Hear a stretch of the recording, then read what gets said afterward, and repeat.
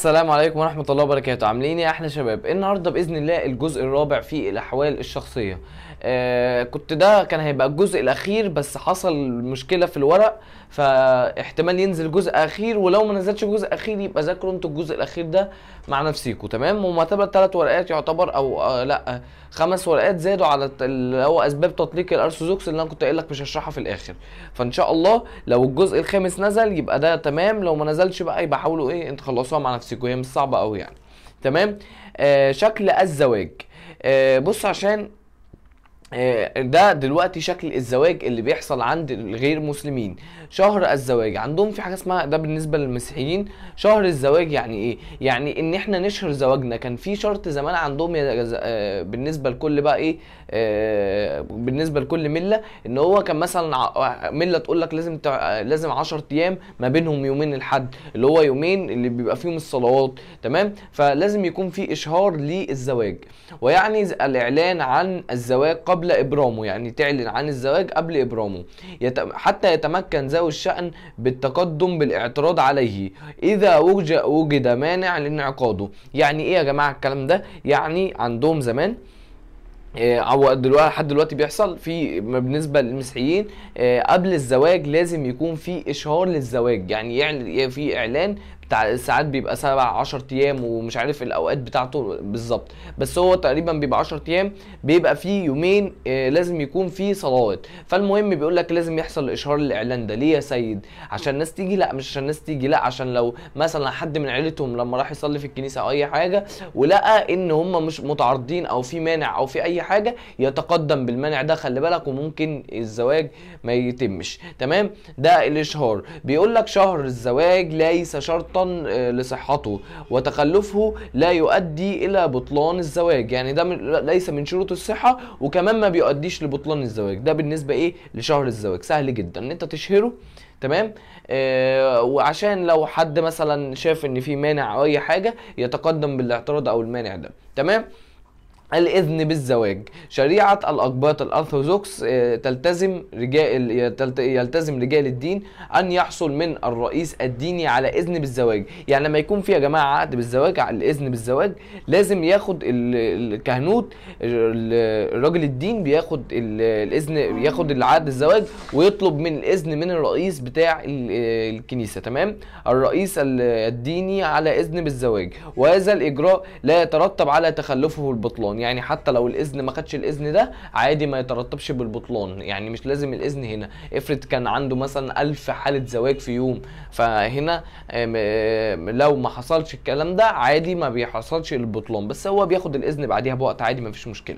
صلاة الإكليل وده اللي عليها كلام بقى. لا يكون الزواج إلا بحضور كاهن. يعني لازم يكون في كاهن. وصلاته آه، وصلاته عليهما في الصلاة هي التي تحلل النساء للرجال والرجال للنساء. يعني لازم يكون في كاهن ولازم يكون في صلاة عشان هي اللي بتحلل الشخصين لبعض. تمام؟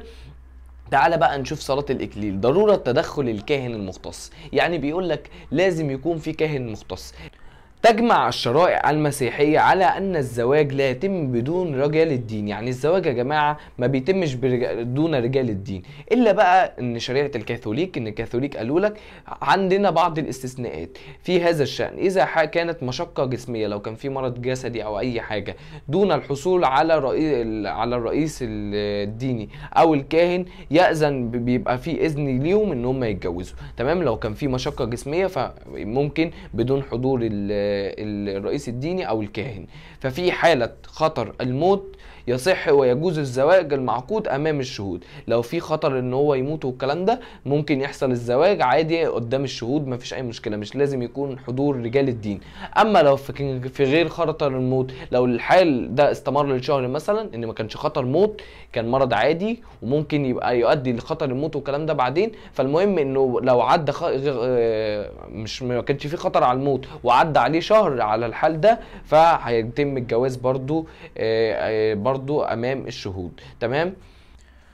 ويعرف الكاثوليك نظرية الكاهن السوري. يعني إيه الكاهن السوري؟ فإذا عقد الزواج كاهن حقيقي أو كاهن غير مختص.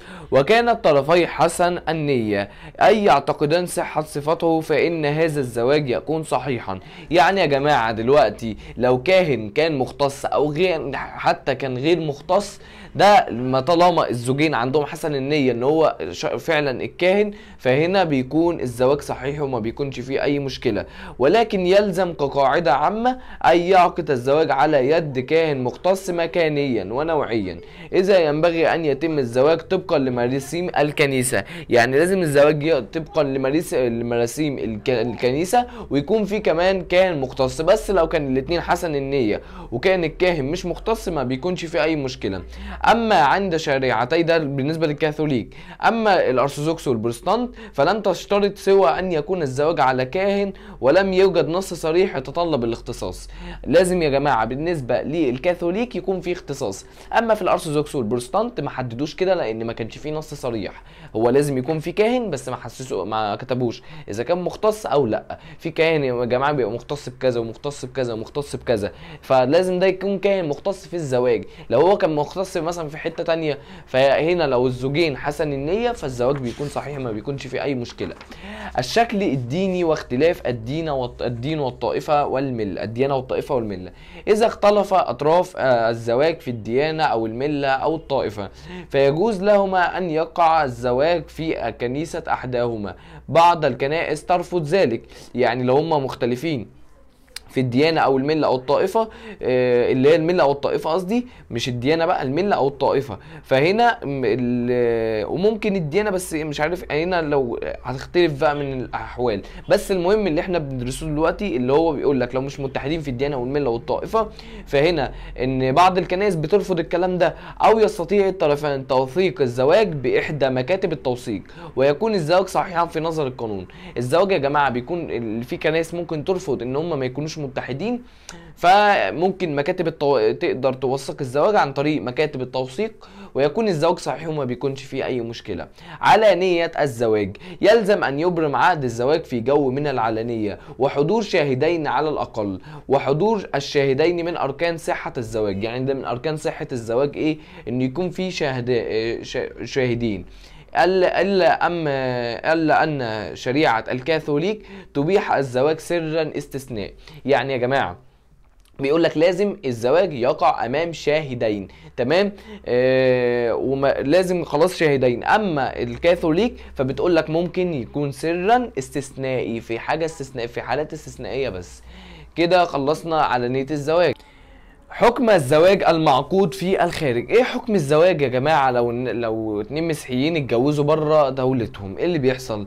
توجب شريعة الأقباط يعني شريعة الأقباط اللي هم الأرثوذكس اللي موجودين في مصر اللي هو طبقا لقانون البلدة البلد التي يكون فيها الزواج في خلال ست شهور من تاريخ عودته. يعني لازم آه، تكمل بعض ال- المراسم أو الحاجات اللي هتحصل آه، بعد ست شهور لما ترجع البلد اللي انت فيها اللي ترجع بلد مصر. يعني لو انت مثلا كنت في الخارج أرثوذكس قبطي كنت في الخارج واتجوزت واحدة أرثوذكسية قبطية هناك وما لقيتش مثلا هنعرف في الحالات الجاية أن يتقدم للرئيس الديانة لإتمام الزواج طبقا للطقوس القبطية الأرثوذكسية. يعني أنت لازم لما ترجع في خلال ست شهور خلال ست شهور أول لما ترجع لدولتك آه، تروح للرئيس الديني علشان تكمل الطقوس القبطية الأرثوذكسية. يثور التساؤلات عن مصير الزواج إذا لم يتقدم الأطراف لجهة دينية عقاب العودة وهنا الفارق. يعني بيقول لك عقاب العودة. هل لو انت آه، في اتجاهات كتير هل لو انت مثلا ما حضرتش هي- هيسبب مشاكل هنشوف ده الأول. أول حاجة الفرض الأول ده في بيقول لك هناك نفرق بين ثلاثة فروض.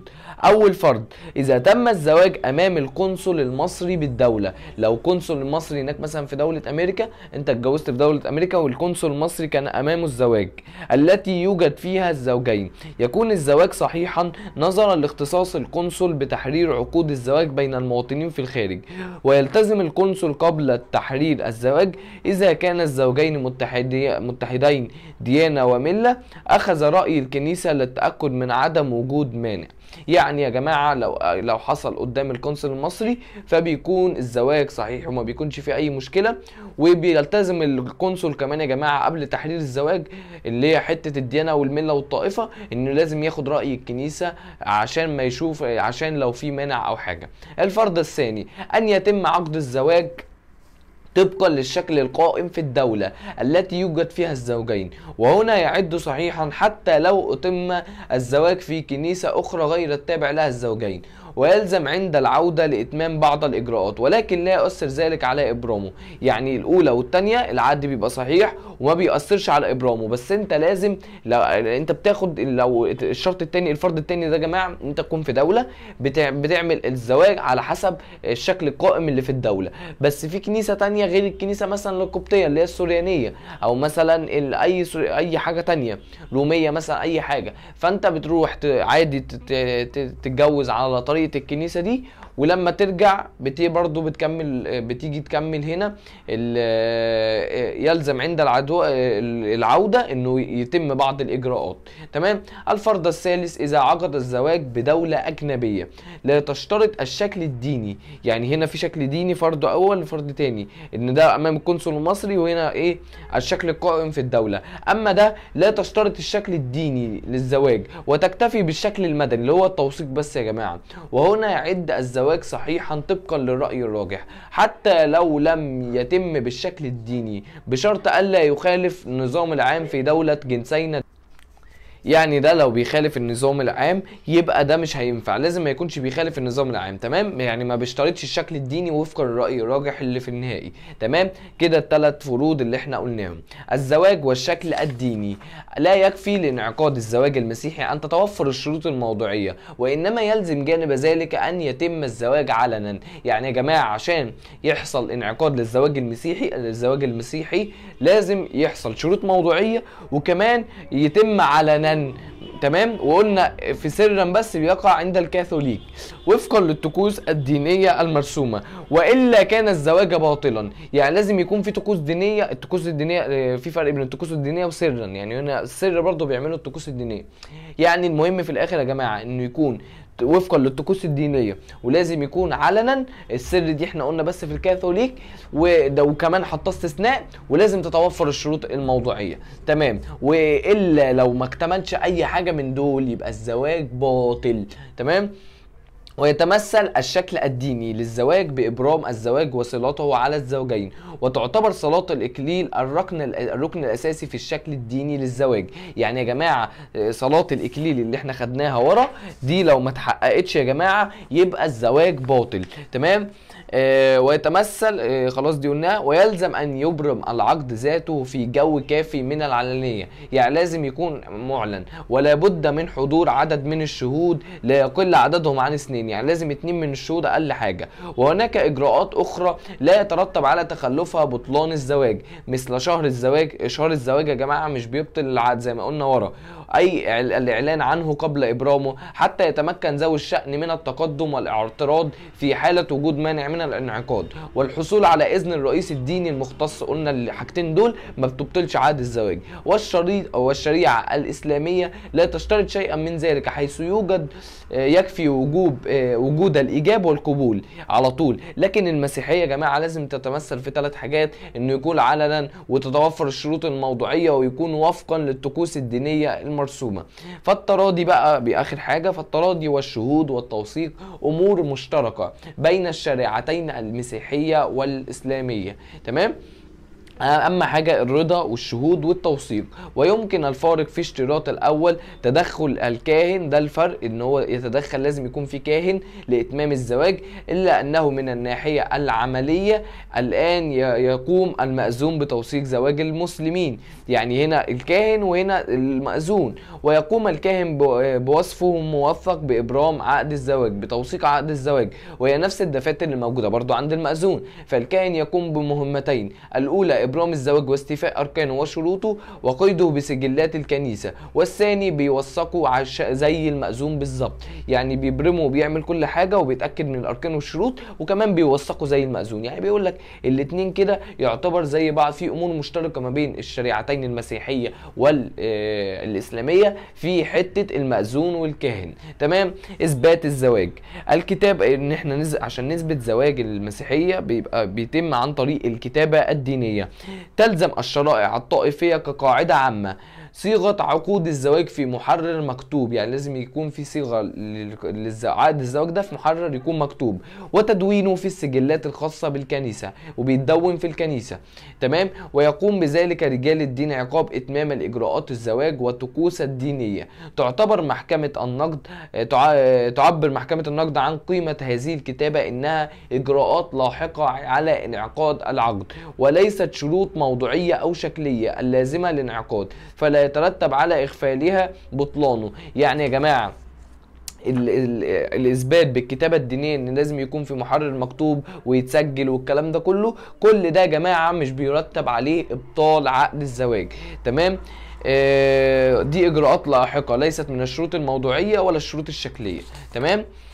يقوم آه، مكتب التوثيق عقود الزواج والطلاق بالنسبة للمصريين غير المسلمين عند اختلاف الملة والطائفة كما أن هذا ال- يعني لازم مكتب التوثيق يا جماعة عقود الزواج اللي هي بالنسبة للمسلمين اللي هم مش مختلفين في ال- اللي هم مختلفين قصدي في الطائفة أو الملة.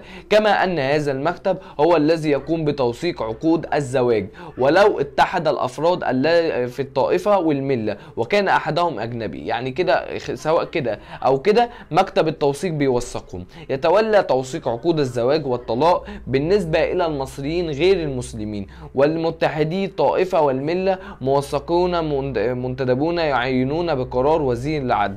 وبالنسبة للزواج المبرم قبل سنة 1897 يمكن إثبات بشهود الش... بشهود الشهود. بشرط أن تكون الزوج الزوجية معروفة. أما عن الزواج المبرم بعد ال- السن ده فلا تسمع دعوى الزوجية إلا إذا كانت مؤدية بأوراق خالية من شبهة التزوير. يعني بخلاف في خلال التزوير يا جماعة الحتة قبل سنة 7 و 1897 كان آه، ممكن تثبته بشهادة الشهود عادي. تمام؟ لكن دلوقتي يا جماعة لو في أي تزوير من بعد 1897 ل 1911 والحتة دي مهمة. ما ينفعش ب... ب... آه، لازم تكون مأدية بأوراق وما تكونش فيها تزوير. وبالنسبة للزوجة الذي تم إبرامه من 1911 ل 1931 في حالة إنكار الزوج من أحد الزوج الزوجين ووفاة الآخر فلا تسمع إلا إذا كانت بأوراق رسمية أو مكتوبة. تمام؟ يعني الإثباتات يا جماعة بتختلف من اختلاف العوام ولازم تحفظ الحتة دي. أما عن الزواج المبرم منذ أول أغسطس 1931 فلا بد من وثيقة زواج. لازم من بعد 31 وثيقة زواج رسمية لسماع الدعوة. يعني من غير وثيقة الزواج الرسمية دي يا جماعة لا تسمع دعوة عند الإنكار. زي ما بيحصل يا جماعة للإسلام إن إحنا قلنا بالنسبة ده يعتبر حاجة زي العرفية. لا يعتبر التوثيق لصحة الزواج بل مجرد دليل لإثباته. يعني عشان ال- ال- التوث- التوثيق ده يا جماعة بتبقى حاجة أساسية وإحنا قلنا إن العرفي ما بيكونش موثق. فإحنا ده يعتبر يا جماعة زي الزواج العرفي عند الإسلام. تمام؟ آثار تخلف بس الحتت دي بقى لازم تحفظها اللي هي بتاعت السنوات دي. آثار تخلف التوثيق. قرر المشرع بأنه لا تقبل عند الإنكار الدعوة الناشئة عن عقد الزواج في الوقائع اللاحقة. أول أغسطس سنة 1931 ما لم يكن الزواج ثابتا بورقة رسمية. ويسري هذا الحكم على المسلمين وغير المسلمين. يعني لو ما فيش ورقة رسمية بالإثبات لو أنكر الزوج ما, ما هنا لا تسمع الدعوة أصلا. تمام؟ الحكم الخاص بالزواج العرفي هو يعتبر الزواج العرفي ده يا جماعة ونفس اللي إحنا خدناه في الشريعة الإسلامية. الحكم الخاص بالزواج العرفي. استثنى المشرع من الحكم السابق دعاوى الفسخ والتطليق دون غيرها حيث تقبل هذه الدعاوى في حالة ثبوت الزواج بأي كتابة ولو لم تكن رسمية. ولو أنكر المدعي عليه الزوج للزوجية ولكن يشترط ألا يقل عن 18 سنة. إحنا قلنا عشان أصلا الإثبات من بعد 18 سنة ومن ثم يمكن تطبيقه 18 من 16 يا جماعة. للزوجية 16 لا إحنا عدلها القانون وخلاها 18 للاتنين. ومن ثم وده اللي هناخده بيه اللي هو 18 سنة. ومن ثم يمكن تطبيقه على غير المسلمين عند تعذر إثبات الزواج الصحيح. بالوثيقة الرسمية. كما أن في حالة آه، فقدان الأوراق لأي سبب. تمام؟ آه، بطلان الزواج. أسباب البطلان؟ البطلان في أسباب بطلان موضوعية وأسباب بطلان شكلية. جماعة البطلان ده لازم تعرفه جدا. يبقى بسبب بسبب مثلا ال- الأكاليل بيحصل بطلان. بسبب الإشهار أو الإعلام ما بيحصلش بطلان مثلا. لازم تبقى عارف الحاجات دي. تمام؟ آه، أسباب البطلان الموضوعية. البطلان عن تخلف التراضي أو أحد عناصره. آه، فيكون عقد الزواج باطلا إذا اختلف رضاء كلا من الزوجين أو لم تطبق في انعقاده. الزواج آه، كالإكراه مثلا. إن لو كان في إكراه يا جماعة إن الشخص التاني مش راضي عن الزواج فهنا بيبقى دي من إحدى الأسباب البطلان الموضوعية. البطلان بسبب قيام مانع من الموانع. يبطل الزواج إذا انعقد العقد رغم قيام مانع من الموانع الزواج كالقربة والكلام ده. يعني يا جماعة ده من إحدى الشروط الموضوعية. إن لو كان في مانع زي المانع اللي هو القرابة والارتباط الزوجية والعجز الجنسي والحاجات اللي إحنا دي آه، فلو دي مانع موجود وأنت أتم الزواج فالزواج هنا بيبقى أسباب بطلانه بطلان موضوعي. آه، تالت حاجة إلا أن هناك بعض الموانع لا يبطل فيها الزواج. موانع لا يعتد بيها في القانون المصري. اللي إحنا قلناها اللي هي موجودة في مصر بس مش بتطبق. تمام؟ يبقى كده الموانع ال- البطلان الموضوعية أهم حاجة إن هي تعرفها التراضي وإن ما يكونش القرابه أو أي مانع موجود. أما الموانع اللي ما بتطبقش في مصر فدي أصلا ما بياخدش بيها القانون المصري ولا تطبق وملهاش أي لازمة وتطبق هنا الشريعة الإسلامية. الأسباب بقى البطلان الشكلية. تخلف الإجراءات التي تسبق الزواج كالإشهار والحاجات دي يا جماعة. الإشهار والحاجات دي من الشكلية. أما البطلان الموضوعي الموضوعي يا جماعة ده بيبقى الحاجات مثلا يعني أقولها لك إزاي الرضا الحاجة الأساسية الرضا اللي هو كالإكراه والكلام ده اللي يكون آه، في مانع أصلا قبل الزواج. لكن ده بقى في الشكليات يا جماعة. زي مثلا الإشهار الحصول على إذن الرئيس الديني عدم الحصول على ذلك الإذن يترتب عليه جزاءات تأديبية دون أن يؤثر على آه، صحة الزواج. تمام؟ تجيز الشريعة الكاثوليكية انعقاد الزواج بغير حضور الكاهن في حالات معينة. يعني ممكن بتجيز الشر- الش- الشريعة الكاثوليكية عادي انعقاد الزواج من غير حضور الكاهن في حالات معينة. إغفال بعض مراسيم الزواج كالخطأ في تحرير وثيقة الزواج. تمام؟ آه لا يبطل الزواج إذا تم في آه، إخفال بعض مراسيم الزواج كخطأ في تحرير وثيقه الزواج الخطأ في التخ... الإخفال ده في بعض المراسيم أو الحاجات دي بتبقى سبب بطلان شكلي. تمام؟ لا يبطل الزواج إذا تم في الأيام الممنوع لعقد الزواج فيها وإنما يدخل الأمر في دائرة التحريم. يعني دي يا جماعة ما بيبطلش الزواج إن مثلا أنت ما كنت المفروض تتجوز في الأسبوع الجاي. فأنت لما الأسبوع الجاي مثلا لو أنت اتجوزت النهارده بدل الأسبوع الجاي فده بيكون تحريم ديني بس ما بيبطلش عقد الزواج. يبقى اللي لا يبطل عقد الزواج آه، ال- الوقت اللي انت بتتجوز فيه الإغفال بعض المراسيم ده بي إيه بيكون سبب بطلان. تجيز الشريعة الكاثوليكية وبيقول لك تخلف بقى الإجراءات وإحنا قلنا الأكاليل والحاجات التانية دي مهمة عشان بتبقى دي أسباب بطلان شكلية. تمام. الحد من إعمال بطلان الزواج. طبيعة البطلان. عندنا بطلان مطلق وبطلان نسبي. البطلان المطلق هو تخلف أحد أركان التصرف ويتمسك به كل ذي مصلحة وللمحكمة تقتضي بها من تلقاء نفسها ولا يجوز بالإجازة أو التقادم. البطلان المطلق ده يا جماعة ده احدى من الشروط الأساسية يا جماعة. الشروط الأساسية دي لو آه، من الأركان الأساسية لو الأركان دي مش موجودة يبقى ده بطلان مطلق. أما البطلان النسبي اللي هو الغلط والإكراه عيوب الإرادة يبقى أي حاجة غير عيوب الإرادة يبقى ده بطلان مطلق. أما البطلان النسبي لازم يكون من عيوب الإرادة. تمام؟ وإحنا قلنا ال- الحاجة اللي بتبقى موجودة المسيحيين اللي هم الغلط والإكراه بس الغلط والغش والاكراه إنما أما التدليس والاستغلال دول مش موجودين. تمام؟ الا إلا أن ملامح البطلان في الشرائع الدينية تختلف عن الصورة السابقة المعروفة في القانون المدني. فلا تعرف أغلب الشرائع التفرقة بين نوعين الب... نوعي البطلان ولم تأخذ بتلك التفرقة سوى شريعه الأقباط اللي هم الأرثوذكس. تمام؟ يعني الأقباط الأرثوذكس هم اللي عرفوا البطلان النسبي والمطلق ده. تمام؟ سقوط الحق في التمسك بالبطلان. إن بيسقط الحق لما أنت بتتمسك بالبطلان ده. أما إذا كان الزوج معقود قبل الزواج معقود قبل بلوغ الزوجين أو إحداهما سن الزواج فيسقط الحق في بطلانه. تمام؟ هنا بيسقط الحق في البطلان يا جماعة لو ال- ال- السنون السن القانوني 18 سنة ما كملش الاثنين في بطلانه اما بالحمل أو بمضي شهر فيه على البلوغ. إذا كان عقد الزواج كالقاصر بغير ولاية فلا يجوز الطعن فيه إلا من قبل وليه أو من القاصر. تمام؟ الطعن عليه بالإلغاء. آه، ولا تقبل الدعوة منها كأن الولي قد أقر صراحة أو ضمن. يعني الحاجات دي يا جماعة دي الحاجات اللي بص بيقول لك إيه؟ سكوت التمسك يعني سكوت الحق في التمسك بالبطلان. إن أنت يعني بيسقط حقك. الشروط دي يا جماعة أنت بتحفظها واحدة واحدة تمام؟ إذا وقع غش في الزواج فلا يجوز الطعن عليه إلا من الزوج الذي وقع في الغش.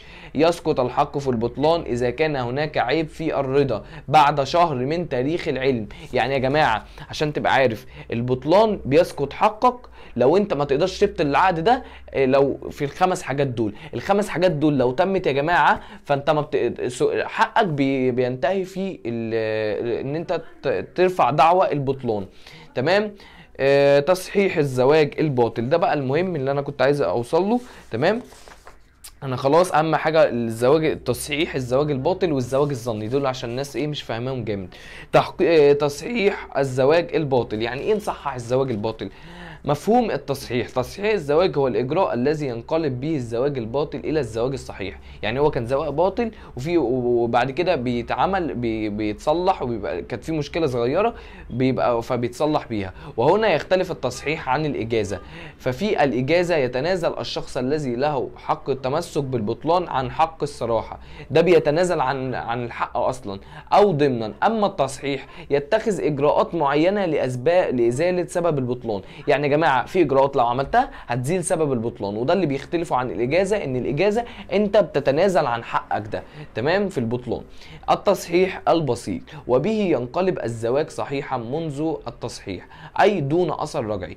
تمام؟ في يا جماعة التصحيح البسيط ده بيكون يا جماعة إن هو الزواج بينقلب لزواج صحيحا يعني دون بقى أثر رجعي. يعني مثلا زي الرضا. الرضا يا جماعة أنا مثلا الزوجة ما كانتش راضية في الأول بالزوج المسيحي ده. حلو. وبعديها بفترة شافت الزوجة المسيحية إن مثلا أنا رضيت بيك والكلام ده ورضت بالزوج وبقى كله تمام. فبعد كده ده كان باطل أهو بعد كده بقى صحيح. فده التصحيح البسيط تمام؟ أو قيم مانع أو تخلف الشكل الديني. فإذا كان العيب متعلق بالرضا يتم إذا صدر الرضا صحيح ممن لم يرضي عليه مثلا. تمام؟ أما إذا كان بطلان الزواج بسبب قيم من موانع الزواج فيشترط تصحيحه شرطين. أول حاجة زوال المانع لازم المانع اللي موجود يتشال عشان البطلان يتصلح. وتجديد الرضا إن هي تقول له أنا راضية بيك يجدد الرضا عادي. تمام؟ أما إذا كان سبب البطلان هو تخلف الشكل الديني فإن الزواج يصحح بعد أن يعد الشكل من جديد وفقا للصيغة والشكل المطلوب. التصحيح بقى من الأصل. التصحيح البسيط أهم حاجة تعرفها فيه إن هو بي بيت- بيتم دون أثر رجعي. ولازم تعرف يعني حاول تعرف الحالات ودي أمثلة عليها. تمام؟ ولازم يزيل المانع وبيتجدد الرضا الز... الزواج تاني. حلو؟ التصحيح بقى من الأصل. حاجة بتحصل من الأصل يا جماعة. يعني دي لازم تحصل بأثر رجعي يعني مثلا زي الخلفة والكلام ده. أما الرضا ده بيتم بدون أثر رجعي لأنه مش محتاج أثر رجعي زمان. يعني ما ينفعش الحاجات دي تتم بأثر رجعي أما الخلفة واحد لو خلف هنا ما يسماش باسمه لا يسمى باسمه. تمام؟ التصحيح من الأصل. آه، هنا ينقلب العقد صحيحا بأثر رجعي وهنا يستطيع آه، منح هذا التصحيح إذا كان هناك نقصان في الشكل فقط أو كان راجعا لأحد الموانع كالزنا. ولا يمكن التصحيح من الأصل إذا كان البطلان راجعا إلى نقصان الرضا. تمام؟ ولا يمكن التصحيح من الأصل إذا كان الزوجين بين الشخص وأصله وشخص وفرعه. تمام؟ آه، أما إذا كان بطلان الزواج راجعا إلى وجود مانع من الموانع الكنيسية أو نقصان في الصيغة أو الزواج. فدي يا جماعة الشروط اللي هي بتكون إن ينفع فيها التصحيح من الأصل والحاجات اللي ما ينفعش فيها التصحيح من الأصل. الزواج الظني. مفهوم الزواج الظني بمعنى أن حد الزوجين أو كلاهما يجهلان سبب الإبطال وقت إبرام العقد. ففي حالة حسن النية الزوجين أو إحداهما فإن بطلان الزواج يقتصر على المستقبل فقط ولا ينسحب إلى الماضي حيث يتم الاعتراف بوجود العلاقة الزوجية وأثارها بالنسبة للماضي. الزواج الظني أنا آسف يا جماعة لو أنا بجري شوية أو حاجة بس دي في شروط انت لازم تحفظها انت مع نفسك فاهم؟ إيه الحاجات اللي تنفع والحاجات اللي ما تنفعش. آه، لأن قلت لك الجزء الأخير ده بيترتب على حفظ كتير لأن أنا ما بحبش الحفظ زيكم. بس لازم تبقى أنت عارف إيه اللي ينفع وإيه اللي ما ينفعش ومش عارف إيه. ففي حالات لازم تكون حافظها والكلام ده. فالمهم ده الزواج الظني بقى. الزواج الظني ده إزاي يا جماعة؟ بيكون مثلا إحنا قلنا بالنسبة للمسيحيين بالنسبة مثلا للكاثوليك بيبقى ال- ال- الزواج حرام من الدرجة السادسه الدرجة السادسه دي قلنا يا جماعة دي درجة بعيدة. فممكن مثلا أكون خارج بره واحدة تكون قريبتي من الدرجة السادسه تمام؟ أو من الدرجة أقول الخامسه فأنا اتجوزتها. حلو؟ فده بيكون هنا خلاص ما كنتش أعرف إن هي قريبتي من الدرجة الخامسه لأن دي درجة بعيدة يا جماعة. قلنا دي الدرجات دي بعيدة. فالمهم اتجوزتها حلو. وبعد ثلاث سنين جا خلفنا عيلة والكلام ده ورجعنا. وكنا إحنا الاتنين حسن النية ما نعرفش ان دي من الدرجة الخامسة. حلو؟ فهنا آه، ده الزواج الظني. تمام؟ بعد كده هل في حالة الزواج الظني دي اللي هي قريبتي من الدرجة الخامسة دي هي المفروض محرم عليها لحد الدرجه السادسه دي من الدرجة الخامسة واتجوزتها. إيه اللي هيحصل هنا بقى؟ شروط الزواج الظني. وجود مظهر للزواج وقت انعقاده يعني لازم المظهر يكون صحيح. يجب الإعمال أحكام الزواج العادية على سبيل الاستثناء من خلال نظرية الزواج الظني. اتخاذ الزوجين مظهرا قانونيا معينا وإن كان باطلا أصلا تمام؟ آه لازم يكون آه تم شروط الزواج عادي يا جماعة ويكون كل حاجة تمام. فيلزم أن يكون الزواج باطلا وليس منعدم تمام؟ آه فلا زواج بين شخصين من نفس الجنس مثلا أو بين مسيحيين من نفس الملة أو الطائفة دون إجراءات دينية. هذا الزواج بيكون منعدم أصلا يعني أكنه ما حصلش بس مش باطل بقى بسبب الشروط الزواج الظني. أول حاجة يا جماعة من الحتة دي إن لازم يتخذ إجراءات الزواج الأصلية والعادية تمام؟ تاني حاجة توفر حسن النية لا يلزم لقيام الزواج الظني بتوفر حسن النية للزوجين أو إحداهما ويقصد بحسن النية الجهل بسبب البطلان أي الاعتقاد بأن الزوجة انعقد صحيحا ومثل هذا الاعتقاد الخاطئ قد يكون مبناه الغلط في الوقوع كالزواج الشخصي من قريبته دون علمه أو الغلط في القانون كأن يتزوج الشخص من قريبته مع علمه بذلك ولكن من جهلها هي. تمام؟ الحتة دي يا جماعة عشان تبقوا فاهمينها إن دلوقتي. لو كان إحداهما آه، يعلم كان عنده حسن النية. إن أنا ما أعرفش مثلا إن دي آه، قريبتي من الدرجة الخامسة عشان كده اتجوزتها. كان في واحد إحداهما من حسن النية يا إما الذكر يا إما الأنثى. التاني بقى بيبقى سيء النية. والشخص التاني بقى ده اللي مش حسن النية ده إيه اللي هيحصل له؟ الزواج هيبقى عادي يا جماعة ما فيش أي مشكلة. هيحصل برضه انه زواج ظني. تمام؟ أما لو يا جماعة الاتنين عارفين والكلام ده ده أصلا ملوش أي لازمة. تمام؟ آه تمام. دلوقتي عرفنا الزواج الظني. لو واحد بس حسن النية والتاني مش حسن النية إيه اللي هيحصل هنا؟ هنا هيحصل يا جماعة إن في حكاية الورث آه اللي هي مش عارفة بتاخد ورثها كامل. أما اللي عارف اللي هو عارف إن هو آه، قرابه وسيء النية فده ما بياخدش أصلا ميراث. تمام؟ آه، ده بالنسبة إيه؟ لل- للزواج الظني وتوفر حسن النية. تمام؟ ويشترط حسن النية عند الطرفين أو إحداهما. آه، إذا كان كلاهما سيء النية فإنه ينتج بطلان بأثر رجعي أي لا تنطبق نظرية الزواج الظني أصلا. ده بيبقى باطل بأثر رجعي كله. تمام؟ أثر بقى الزواج الظني. تعال نشوف آثار الزواج الظني. إذا كان الزوجين حسن النيه فإن الزواج ينتج آثاره كاملة في فترة ما قبل تقرير بطلانه. أما بعد صدور الحكم بالبطلان فإن الزواج يزول بال- بالنسبة لمستقبل كالعادة والنسب. وهذا كذا فالمخالطه الجنسية التي وقعت بين الزوجين لا تعتبر زنا بل تعتبر علاقة شرعية زوجية صحيحة. تمام؟ وما ينتج عنها من أولاد شرعيين فإذا ما تكرر البطلان لا ينتج الزواج أثر بالنسبة للمستقبل. يعني إيه الكلام ده يا جماعة؟ يعني بالنسبة لآثار الزواج الظني إن كل العلاقة اللي أنتوا عملتوها زمان دي كانت علاقة شرعية كلها وما كانش فيها أي مشكلة وما كانتش علاقة زنا والعيال شرعيين عادي وبيتسموا كل حاجة تمام. حتى لو كانت الزوجة حامل دلوقتي فبرضه بيتسمى باسم الأب تمام؟ أما بقى أي حاجة في المستقبل بيتم التفرقة بينهم تمام؟ وال وما ينفعش أي علاقة بينهم بعد كده والكلام ده خلاص. تمام؟ ده آثار الزواج الظني. أما إذا كان أحد الزوجين فقط حسن النية فإن الزواج لا يترتب عليه أثره إلا بالنسبة للزوج أولاده المرزوقين له من ذلك الزوج. فقبل الحكم بالبطلان يرث الزواج حسن النية اللي قلت لك حسن النية اللي هو حسن النية هو اللي بيرث بياخد الميراث والوصية والكلام ده. أما العكس غير صحيح اللي هو سيء النية فلا يرث بطبيعة الحال. ترتيب القضاء لبعض آثار الزواج الباطل. تمام؟ في بعض الآثار على الزواج الباطل القضاء والفقه لا يعملان على قاعدة الأثر الرجعي للبطلان على إطلاقها بل يخففان من أحكامها. يعني مش بي ده مش يعني بص لا يعملان على قاعدة الأثر الرجعي للبطلان بس بيخففوها. في حالات معينة نظرا لقوة هذه الأحكام وصعوبة تطبيقها. وجوب أن تعتد المرأة لازم يبقى في فترة عدة للمرأة قبل دخولها في علاقة زوجية جديدة.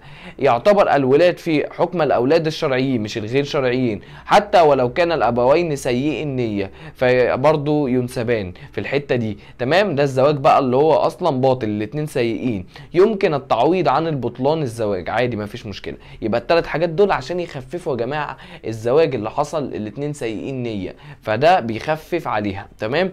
آثار الزوج الزواج اللي هو المسكن والسلطة الزوجية والحاجات دي سهلة جدا ناخدوها. المس... المساكنة تحقق المساكنة بين الزوجين بالاشتراك في معيشة واحدة تحت سقف واحد وما يتفرغ عنه ذلك من المعاشرة بالمعروف والمخالطة والكلام ده. بينهما فالتزام بالمساكنة. يقع على عاتق كل من الزوجين ما لم يقم هناك عذرا مقبولا كالمرض أو التجنيد. تمام؟ آه، ده بالنسبة للمسكن. السلطة الزوجية تجمع الشرائع الطائفية على أنه يجب على المرأة أن تطيع زوجها وتسلم له رئاسة الأسرة أن الزوج هو اللي بيبقى آه، هو رئيس الأسرة يعتبر. ولا يعني ذلك أن سلطة الزوجية تعني العبودية للرجل مش العبودية يا جماعة هنا في ظل الحدود الشرعية. وتكون الطاعة في حدود ما شرعه يعني يا جماعة الطاعة مش آه، كده الزوجة مش عبدة للزوج لأ هو في نطاق محدد بيبقى فيه طاعة للزوجة بالنسبة للزوج على آه، في نطاق ما شرعه الله لها.